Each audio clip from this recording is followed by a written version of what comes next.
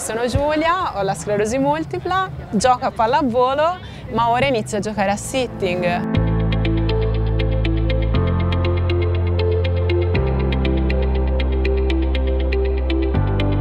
Questo evento, grazie alla Fondazione Vodafone Italia, ci permette veramente di far conoscere eh, e di avvicinare le persone al mondo dello sport e della disabilità, disabili, che non siano disabili, l'importante è partecipare e conoscere questa nuova disciplina. Sono contentissima di partecipare, penso che sia eh, una cosa stupenda da fare perché dare la possibilità anche a quelli che hanno più difficoltà, che poi non hanno così tante difficoltà perché sono molto più forti di noi, fanno meno problemi, quindi dare la possibilità a loro di praticare sport penso sia una cosa bellissima. Noi osiamo, io oso.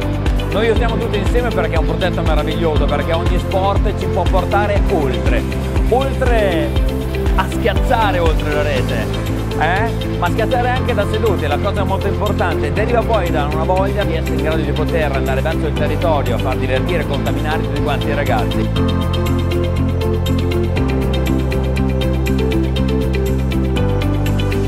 Giocato contro la nazionale di, allenata da Emanuele Fracascia e mi sono divertito. E secondo me la cosa bellissima è che giocando con i ragazzi del sitting ho trovato persone eh, che scherzavano sulle loro sulle loro, sulle loro problematiche e quindi erano persone contente, felici di giocare a City in Volley. Li vedevo proprio che stavano bene assieme, giocavano anche molto bene, infatti abbiamo perso, proprio non forse sono riuscito a mettere a terra una schiacciata vincente e basta. E quindi devo dire che il City in Volley è, speciale, particolare perché aiuta le persone con disabilità a giocare a pallavolo, a divertirsi, a stare insieme e quindi credo che tutti abbiano diritto di fare sport.